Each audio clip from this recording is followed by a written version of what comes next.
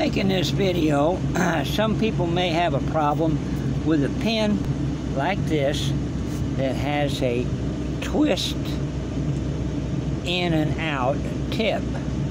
Okay, now I found the, the solution to that. If the tip is not wanting to come out and just kind of like loose in there, falls in and out or whatever, the way you can fix this, you can't get it from the top, okay, that'll do nothing. All right, this is filled with little blue beads, plastic, okay, decorative.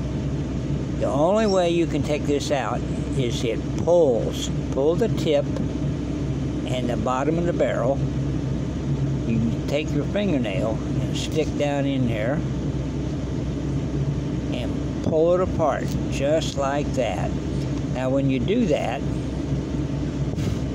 it's got this little thing here that's your ink, all right? And what you do, it just screws in. You unscrew it, you can pull it out, okay?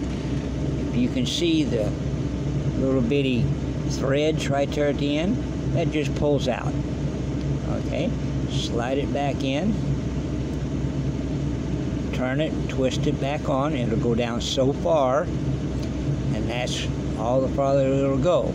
Now, it does have flat on both sides okay?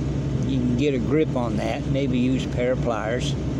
So if the tip is out grab the bottom tip is in.